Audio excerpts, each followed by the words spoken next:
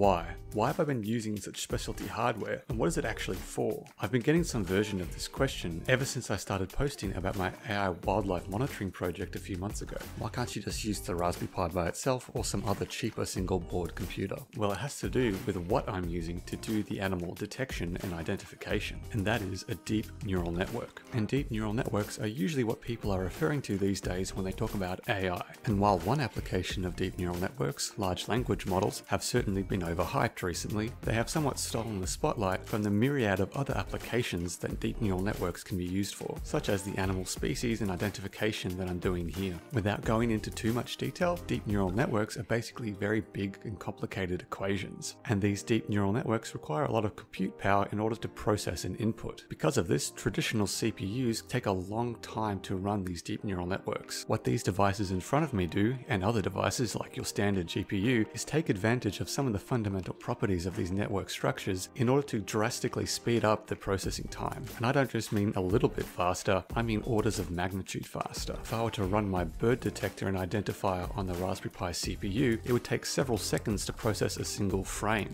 If I were to run that same model on the Raspberry Pi AI hat, I could get it running at over 80 frames a second, which is over 100 times faster. So no, you don't need one of these accelerators in order to run a deep neural network, but for them to be useful, you often need to run them at a decent frame rate, which necessitates the use of some AI accelerator. And if you're trying to create something that is portable and can run these networks, a small, low powered device like the ones in front of me are ideal.